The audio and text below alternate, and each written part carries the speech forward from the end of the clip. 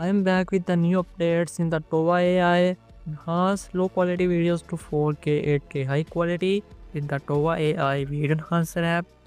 Hey guys, I'm Hamza from Android Ultra. I hope you fine. Request for new viewers, you can subscribe to support Tova AI multiple times review on my channel and in this video I'm gonna cover the new updates specifically for the auto mode, the advanced mode this is already reviewed multiple times. There is no big or the new feature updates. Only one addition the focus 0 1 and 2 in the tools ai tools we have new addition is the google Veo 3 is available here right now. Text to video and image to video both available. Back to the preset mode or the auto mode you can say that. Or selecting the video we have the information. You can check it out or by click on the gear icon you can change the codec also, we have an option to change aspect ratio alongside that the frames interpolation FPS. Underneath that multiple resolutions available original 2K, 4K, up to 8K high quality available. This is the most so far best video enhancement quality on the app ever.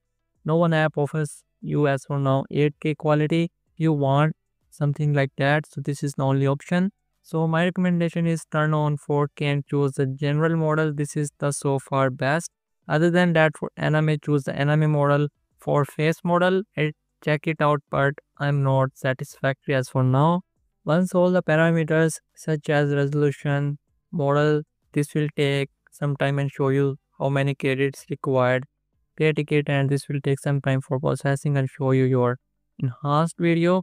You can see the comparison here by slider after downloading. We have two options download option 1 and download option 2 with the download option 1 you can download the app is running in the background but with the download option 2 you have to open your app to download. Basically tova ai evolving over time and i have to cover all updates because some viewers watch my old video. So here is the Veo3 generated video. I uploaded the image and Veo3 turned it into the video overall quality is great and in the 1080p and now app changes a lot with the new updates. That's why I cover in this video. 80 plus videos available in my video enhancer playlist. You can enhance video with the Topaz on mobile as well.